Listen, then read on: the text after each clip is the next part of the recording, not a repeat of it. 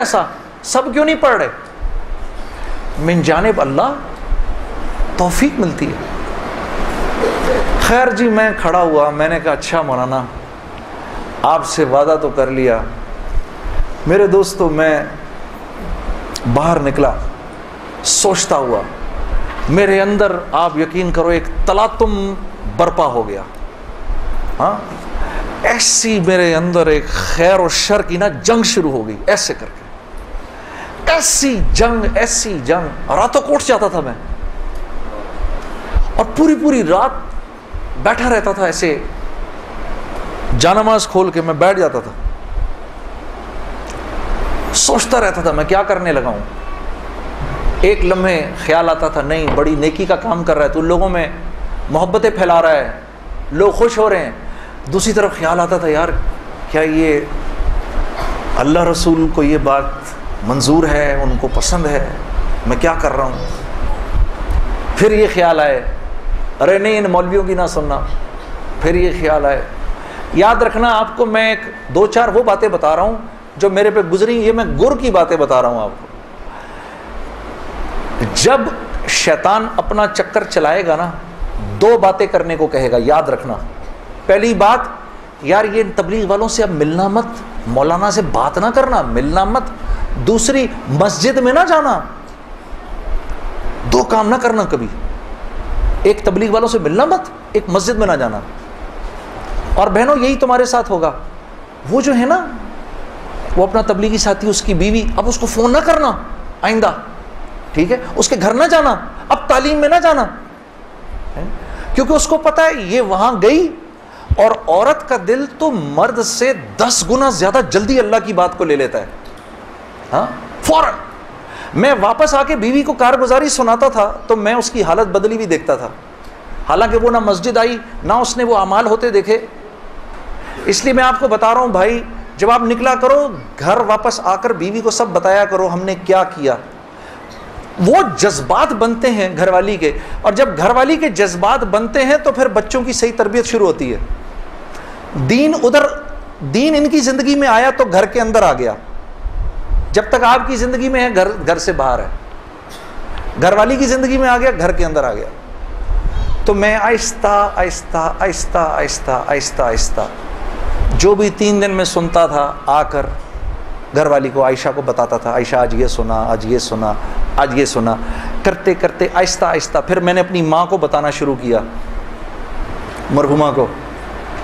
اللہ کی شان، میں آج بھی اللہ کا شکر کرتا ہوں، مجھے موقع محل نہیں تو میں آپ کو کبھی بتاؤں، جب میری ماں کا انتقال ہوا تو کیسے ہوا؟ میرے دل کی دعا ہے اللہ، ہر عورت کو دنیا سے ایسے لے کے جائے جیسے ہماری والدہ گئیں۔ تو وہ وہ میں اپنی ماں کو بتاتا تھا، میری ماں بھی ایک دم، اس نے بھی جلدی جلدی لینا شروع کر دیا۔ کرتے کرتے میری ماں، ہم سب گھر کی خواتین، میں سب سے پہلے میری والدہ پردے میں آ گئیں فوراً۔ اور مولوی صاحب کہہ رہے ہیں، ان کے انتقال کا بتائیں۔ میں ضرور بتاؤں گا آپ کو۔ مختصراً بتاتا ہوں۔ میری ساؤتھ افریقہ کی تشکیل تھی۔ پیچھے والدہ کی طبیعت بہت خراب ہو گئی۔ مجھے بھائی نے بولا، جنید بھائی، آ جائیں واپس کیونکہ امی جا رہی ہیں۔ امی نے اپنی رکنا۔ تو میں نے ساتھیوں سے کہا، انہوں نے کہا، یار، چلے جاؤ، کیا فرق پڑتا ہے؟ یہ پھر یاد کرو گے ساری زندگی۔ اب میں سوچتا رہا، اب میں نے امی کو فون کیا۔ میں نے کہا، اماں، آ جاؤں۔ کہا، نہیں، ہرگز نہیں آنا۔ تو میں نے کہا، کیوں؟ تو کہنے لگی اگر میرا انتقال ہوا تو میں کتنی کتنی خوش قسمت ہوں کہ میں اللہ کو بتاؤں گی کہ جب میرا انتقال ہوا تو میرا بیٹا تیرے راستے میں تھا۔ تو تم تم مت آؤ مجھے کچھ نہیں ہوگا۔ اور اگر ہو گیا تو اس کو اللہ کی مرضی سمجھنا بس میرے لیے تم دعا کرنا۔ اللہ کی شان امی کا انتقال نہیں ہوا اس میرے چالیس دنوں بعد۔ میں واپس آیا۔ واپس آیا تو بہت خوش ہوئی گلے لگایا کہا دیکھو میں نے کہا تھا اللہ نے مجھے زندہ رکھا جب تک کہ تم نہیں آتے واپس۔ پھر میری حضرات نے دس دن کی اور تشکیل کر دی، کینیڈا کی۔ تو میں نے کہا، اماں، پھر دس دن کے لیے بھیج رہے ہیں، جاؤں نہیں جاؤں؟ نہیں نہیں، چلے جاؤں میں تو بالکل ٹھیک ہوں۔ میں نے کہا جی ٹھیک ہے۔ میں جس دن گیا ہوں، اس دن ہم ٹورانٹو میں مرکز میں بیٹھے ہوئے تھے۔ تو وہ پوری ٹورانٹو کی شورا سامنے بیٹھی ہوئی تھی۔ میرا بیان تھا۔ بیان کے دوران ایسے موبائل پڑا ہوتا ہے، میں نے رکھا ہوا تھا کہ بہن کو بولا ہوا تھا کہ اگر اماں کو کچھ ہو، مجھے فوراً بتا دینا۔ میرا موبائل بند ہو گیا، میں سمجھا خراب ہو گیا، اب وہ چلے ہی نہ کسی طرح سے۔ خیر، میں نے اس کو چھوڑے رکھا، میں بات کرتا رہا۔ اس کو نہ چھیڑے پہ چھوڑ دیں اس کو۔ تو میں نے اس وقت جب میں عشاء کی نماز پہ کھڑا ہوا، تو پیچھے سے ساتھیوں نے آ کے بتایا کہ والدہ کا انتقال ہو گیا۔ میں نے بہن کو فون کیا کیا ہوا؟ کہتی ہیں کہ کہتی ہے کہ ابھی فجر کی ہم نے نمازیں پڑھی ہیں اور فجر سے تھوڑا سا پہلے انتقال ہوا ہے۔ اور دو ڈھائی بجے اس امی نے بلایا میری بیوی کو۔ اور میری بیوی کو بلا کے بولا کہ بیٹا دیکھو، میں نے تو ساری زندگی تمہیں بیٹی کی طرح رکھا، لیکن میں ساس ہوں کمی بیشی ہو سکتی ہے۔ تو اگر کچھ ایسی ہوئی ہو تو مجھے معاف کر دینا۔ تو میری وائف نے کہا، امی، آپ کیسی باتیں کر رہی ہیں؟ مجھے تو میں تو کبھی خیال بھی نہیں آیا اس بات کا۔ ہاں؟ آپ نے مجھے اس سے کم سمجھا ہی نہیں۔ پھر میری وائی میری بہن سے کہا کہ تم، بیٹا مجھے اب مجھے لگتا ہے میں آج چلی جاؤں گی۔ مجھے سورہ یاسین سناؤ۔ تو میری بہن نے ان کو سورہ یاسین سنائی۔ تو میری بہن کہتی ہے کہ آنکھیں بند کر کے لیٹ گئیں۔ اور مجھ سے کہا کہ اب سورہ رحمان سناؤ۔ تو سورہ رحمان پڑھتے پڑھتے میری امی نے آنکھیں کھولیں اور آنکھیں کھول کے میری میری بہن سے کہا کہ منیزا یہ دیکھو، یہ کس قدر ایک حسین عورت تمہارے ساتھ کھڑی ہوئی ہے۔ ذرا اپنے اس طرف دیکھو، کتنی حسین عورت کھڑی ہے تمہارے ساتھ۔ بیٹا، یہ مجھے لینے آئی ہے۔ تو میری بہن کہتی ہیں کہ اماں، یہاں تو کوئی نہیں کھڑا۔ نہیں، اس کے پیچھے دیکھو، اس کے پیچھے بھی کچھ لوگ کھڑے ہیں۔ تو میری میری بہن کہتی ہے کہ میں نے کہا، اماں تو چلیں پھر، کلمہ پڑھیں، پھر آپ کے جانے کا وقت ہے۔ کہا، اپنے ابا کو بلاؤ جلدی سے۔ تو میرے ابا آئے اور میرے ابا کو کہا کہ دیکھیں، میں نے ساری زندگی آپ کی عزت کا خیال رکھا۔ میرے لیے بس وہ نمبر ایک چیز تھی۔ اس میں اگر کوئی کمی بیشی ہوئی ہو تو مجھے معاف کر دیجیے گا۔ میں اب جا رہی ہوں۔ کلمہ پڑھا اور آنکھیں بند کر لی۔ بس، اس طرح گئیں وہ ہاں اللہ پاک ہر عورت کو ایسے جانے کی توفیق عطا فرمائے، دنیا سے ہر ہمیں سب کو اللہ پاک ایک خوبصورت موت عطا فرمائے کہ ہم دنیا میں ایک خوبصورت موت ہی تو کمانے آئے ہیں۔ ہاں؟ کہ جب ہم یہاں سے جائیں، میری اللہ سے دعا ہے یا اللہ، اس مجمع میں جتنے مرد اور عورت بیٹھے ہیں، جب اس دنیا سے جائیں تو یا اللہ وہ ان کی زندگی کا سب سے خوبصورت دن ہو۔ ہاں؟ خیر میرے دوستو یہ تبلیغ کے کام میں میں گرتا پڑتا جو بھی تھا۔ مولوی عمران سے میری اسی وقت دوستی ہوگی اس کی اس وقت شادی بھی نہیں ہوئی تھی۔ اس کی داڑھی بھی تھوڑی تھوڑی نکلی ہوئی تھی۔ یہ مرکز میں مجھے نظر آتا تھا۔ بہت پیارا سا نوجوان۔ اس نے، اس کو بھی میرے سے تھوڑی سی محبت ہو گئی۔ میری بھی اس سے محبت ہو گئی۔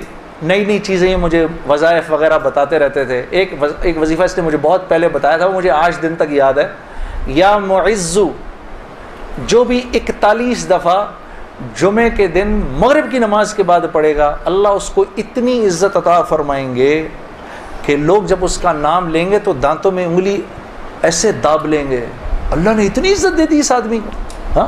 یا معزو، یاد رہ جائے سب شروع ہو جاؤ، سب پڑھ لو انشاءاللہ اس کو۔ کرتے کرتے میرے، میں نے آخر ارادہ کیا، چلو جی میں اب چار مہینے لگاتا ہوں۔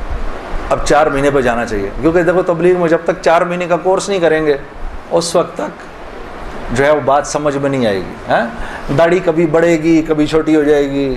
ہاں؟ کبھی سر پہ ٹوپی آئے گی، کبھی اتر جائے گی۔ چار مہینے لگانے ضروری ہوتے ہیں، ٹھیک ہے؟ کام کو سمجھنے کے لیے۔ کیونکہ پہلے چالیس دن جو ہے، وہ جو ہے، وہ دنیا کا جو ہے نا، وہ رنگ اترتا ہے پہلے چالیس دن میں۔ ہاں زنگ اترتا ہے پہلے۔ پھر اگلے چالیس دن کے اندر تبلیغ کا تھوڑا رنگ چڑھتا ہے۔ پھر اس سے اگلے چالیس دن میں کچھ اللہ کی معرفت نصیب ہوتی ہے، کچھ تعلق بنتا ہے جا کر۔ پھر اگر وہ جڑا رہے تو پھر اللہ اس کو سوسائٹی پروف بنا دیتا ہے۔ اس کے اوپر لوگوں کی باتوں کا اثر نہیں ہوتا۔ ہاں؟ پھر ایسے لوگ جہاں بھی جاتے ہیں، ماحول بن جاتا ہے، خود بخود ہی ماحول بن جاتا ہے۔ اب میں نے ارادہ کیا جی چالیس دن لگانے ہیں میں اور چالیس دن کا ارادہ چار مہینے لگانے ہیں۔ میں نے اپنے دوست کے ساتھ مل کے ارادہ کر لیا۔ خیر، وہ ہم کمزور ہم نے مئی جون میں نکلنا تھا، مئی جون آیا۔ وہ تو نکل گیا، میں نہیں نکلا۔ ایک دن اس کا مجھے فون آتا ہے۔ یہ ہے جی سولہ اکتوبر کی بات، دو ہزار ایک۔ اس کا مجھے فون آیا، جنید بھائی، السلام علیکم۔ میں چار مہینے لگا کے آ گیا۔ میں نے کہا ہے چار مہینے ہو گئے؟ کہا ہاں ہو گئے؟ گزر گئے۔ کتنے ہی چار مہینے گزر گئے زندگی سے؟ میں نے کہا، چار مہینے گزر گئے۔ کہتا ہے، لیکن مجھے پتا نہیں، میرے چار مہینے کیسے لگے؟ ضائع ہی ہو گئے۔ میں نے کہا، وہ کیسے؟ کہا، میں چار مہینے کے لیے اپنے ابا کو ساتھ لے گیا، جنید بھائی۔ وہ بیمار رہتے تھے۔ ان کا پیشاب پخانہ مسجد میں نکل جاتا تھا، بستر میں ہی۔ یقین کرو روزانہ جنید بھائی میں نے کچھ نہیں کیا، صرف اپنے باپ کا پیشاب پخانہ صاف کیا۔ چار مہینے، اس کی اس بات نے مجھے اندر سے ہلا دیا کہ کسی انسان کو اپنے باپ کی ایسی خدمت کرنے کا موقع ملا ہو۔ ہاں؟ اور کہتا ہے، پتہ نہیں میرے چار مہینے تو کیا ہی لگے، میں تو سارا وقت باپ کی خدمت ہی کرتا رہا چار مہینے۔ اور چار مہینے کے بعد وہ آیا ہے اور اس کے باپ نے اس کو گلے لگا کے بولا، بیٹا، تیری وجہ سے میرے چار مہینے لگ گئے، دو دن بعد باپ کا انتقال ہو گیا۔ ہم خود جنازے میں تھے، دو دن۔ میں نے ارادہ کر لیا جی میں جا رہا ہوں چار مہینے کے لیے۔ بیوی کے پاس گیا، میں نے بولا، سنو، میں چار مہینے کے لیے جا رہا ہوں۔ کہتی ہے، کب؟ میں نے کہا، کل کہتی ہے، آپ جائیں، میں پیچھے سے زہر کھا لوں گی۔ میں نے کہا میں پانی پی لوں ذرا ایک سے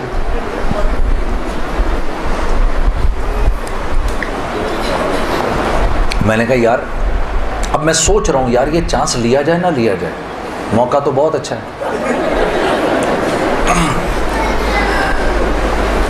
میں نے مولی طارق جمیل صاحب کو فون کیا۔ میں نے کہا، مولی صاحب، بیوی کہہ رہی ہے، میں نے چار مہینے کے لیے جانا ہے۔ تو اگر تو گیا تو میں زہر کھا لوں گی۔ کہتے ہیں، یار میرا تیس سال کا تجربہ یہ اتنی بیوقوف نہیں ہے، ان میں سے کوئی بھی.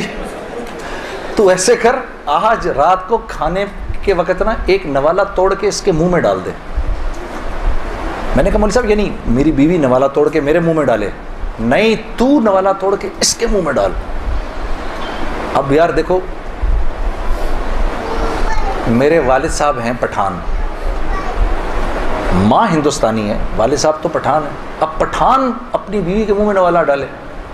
ہاں۔ ویسے ہی ایک شرم آتی ہے اتنی۔ لیکن ہم ویسے ہی کہ شرم آ رہی ہے۔ میں کہا، کس طرح کروں گا میں؟ ہاں ہم بیٹھے ہوئے بیٹھے ہوئے بیٹھے ہوئے، میں کھانے پہ بیٹھے۔ مجھ سے کہہ رہی ہے، آپ کھا کیوں نہیں رہے؟ میں نے کہا، کھاتا ہوں کھاتا ہوں کھاتا ہوں کھاتا ہوں۔ آخر میں نے دعا پڑھی، جل تو جلال تو، صاحب کمال تو، آئی بلا کو ٹال تو۔ نوالا بنا کے بیوی کے منہ میں ڈال دیا۔ وہ ایسے جھیپ سی گئی۔ یہ کس نے سکھایا آپ کو؟ میں نے کہا مولی طارق جمیل صاحب نے۔ مجھے تو پہلے ہی پتا تھا کہ یہ ہونا کچھ نہیں اس سے۔ کہتی ہے ویسے آپ کی پوری تبلیغ میں نا ایک وہی آدمی ٹھیک ہے۔ کام کیا ہے آپ کو؟ میں نے کہا، یار مجھے جانے دے چار مہینے کے لیے۔ پھر میری بیوی نے میرا بیگ بنایا چار مہینے کے لیے۔ اور اس اللہ کی بندی کے لگے چار مہینے، میرے تو نہیں لگے۔ میں تو دنیا بھر میں گھومتا رہا۔ اس نے میرا بیگ بنایا، اس نے میرے بچوں کو دیکھا۔ ہم اس وقت ایک ہی گھر میں رہتے تھے سارے۔ میرے ماں باپ کی خدمت اس نے کی۔ ان، اس نے دیکھا ان کو۔ گھر کی بڑی تھی وہ، بڑی بھابھی تھی۔ باقیوں کو بھی اس نے دیکھا۔ پیسے میرے پاس نہیں تھے، کیونکہ تو میں تو کاروباری چھوڑ دیا تھا۔ پیسے بھی نہیں تھے۔ میں نے اس سے پوچھا بھی نہیں، عائشہ تو کیسے چلائے گی یہ سب کچھ؟ اللہ جانے اس نے کیسے چلایا۔ اللہ اس کو جزائے خیر دے، اللہ اسے خوش رکھے۔ اور میرے چار ماہ لگ گئے۔ اس طرح لگے۔ تو گھر والی کا ذہن بنے گا نا، تو کام بنیں گے۔ اور اگر گھر والی کا ذہن نہیں بنے گا تو کام نہیں بنیں گے۔ ہاں، خراب ہو جائیں گے۔ کیونکہ یہ دعوت کی لائن ایک ایسی لائن ہے جس میں اللہ نے عورت اور مرد کو ساتھ ساتھ رکھا ہے۔ باقی معاملات میں ہاں، عورت کو پابند کیا ہے شوہر کے مشورے سے، کہ مشورے، شوہر کے مشورے سے کرو باقی سارے کام۔ اور قوامون علی النساء۔ پوچھ پوچھ کے کرو، مشورے سے کرو۔ دعوت میں برابر کے ہو تم لوگ، بلکہ حضرت ختیجت القبرا کی کتنی بڑی وجہ بنی رسول اللہ صلی اللہ علیہ وسلم کی تقویت کے لیے؟ حضرت القبرا ہاں؟ کتنی بڑی تقویت بنی کہ فرمایا کہ کہ میں پتہ نہیں کتنی بڑی، میرے پہ چادر ڈال دو، چادر ڈال دو۔ یا رسول اللہ، آپ گھبرائیے نہیں۔ آپ تو لوگوں کو کھانا کھلاتے ہیں، غریبوں کے ساتھ نیکیاں کرتے ہیں ہاں؟ آپ تو ضعیفوں اور مساکین کا خیال رکھتے ہیں؟ ان کی پاسداری کرتے ہیں، اللہ آپ کو ضائع نہیں کرے گا۔ ہاں؟ تو اور ساری زندگی، اور سارا مال اپنا جتنا مال تھا، وہ سارا کا سارا رسول اللہ صلی اللہ علیہ وسلم کے اس کام کے لیے لگا دیا۔ ویسے میں علماء کرام فرماتے ہیں، یہاں چھوٹا سا ایک نقطہ آپ کو بیان کرتا چلوں۔ علماء فرماتے ہیں کہ دو خواتین دنیا کی سب سے ذہین ترین خواتین تھیں۔ ایک حضرت آسیہ علیہ السلام جو فرعون کی بیوی تھیں اور دوسری حضرت ختیجت القبرہ رضی اللہ تعالی عنہ یہ دو سب سے انٹیلیجنٹ خواتین تھیں اپنے وقت کی۔ کیسے بھلا؟ کہ حضرت آسیہ کے اوپر جب فرعون نے وہ پتھر رکھے، مجھے خدا مانو، انکار کر دیا۔ اور جب آپ دنیا سے جانے لگیں آپ نے جاتے جاتے اپنے ایمان کو بچانے کے لیے اللہ سے وہ خوبصورت دعا کی ہاں؟ ہاں؟ ضرب اللہ مثلا للذین آمن امرأت فرعون۔ اے میرے نبی، قصہ سنائیے اپنی امت کی خواتین کو، فرعون کی بیوی کا۔ ہاں؟ کہ جب وہ دنیا سے جانے لگی، قالت رب ابن لی عندک بیتا فی الجنہ۔ اے اللہ، تو مجھے جنت میں جگہ تو دے، وہ تو تو دے گا اب مجھے انشاءاللہ، لیکن اپنے قریب دینا۔ ہاں؟ وہ جنت دینا مجھے جو تیرے قریب ہو۔ بس اب میں بہت تھک گئی ہوں، ان ظلموں سے مجھے نجات دلا۔